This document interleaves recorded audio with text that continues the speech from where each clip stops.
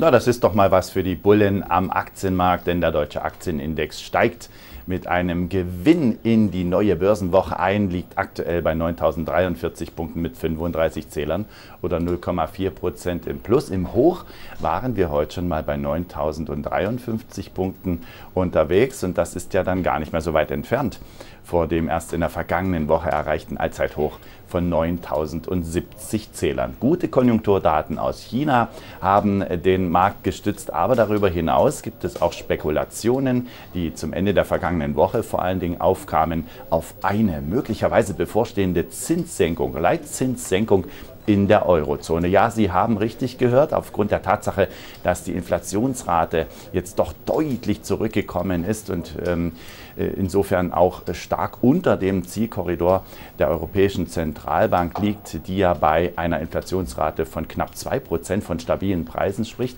Da sagt man, die EZB hätte Spielraum und müsste möglicherweise sogar tätig werden. Am Donnerstag werden wir dann alle schlauer sein, aber wir spüren entsprechende Marktreaktionen schon.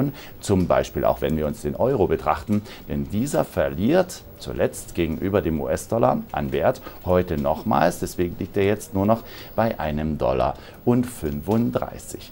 Darüber hinaus gibt es interessante Nachrichten zur Commerzbank.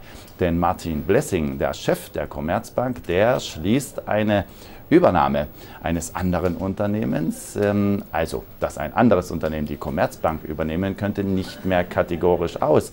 Selbstständigkeit äh, sei kein Selbstzweck, sagte er sinngemäß und das heizt natürlich dann auch kräftige Diskussionen an. Allerdings liegt die Aktie der Commerzbank heute mit 0,2, 0,3 Prozent jetzt im Minus bei 9,42 Euro. Allerdings ist sie seit Anfang Juli bereits um mehr als 70 Prozent im Wert gestiegen. Sie erinnern sich, Anfang Juli im Zuge der Kapitalerhöhung kam mächtig Druck auf die Commerzbank-Aktie auf. Und äh, ehrlich gesagt hätte man da auch schon mal darüber sprechen können, ob sich denn nicht eine Übernahme dieses Instituts jetzt vor allen Dingen aufgrund des Preises lohnen könnte. Aber wie so oft äh, kommen die Anleger dann erst drauf, wenn die Aktie wieder teurer geworden ist. So ist das nun einmal. Allerdings haben viele große äh, angeblich als Interessenten gehandelte Banken bereits abgewunken. Das Thema wird uns dennoch hier weiter beschäftigen. Interessant werden natürlich für viele Marktbeobachter dann die Zahlen der Commerzbank sein, die am kommenden Donnerstag veröffentlicht werden.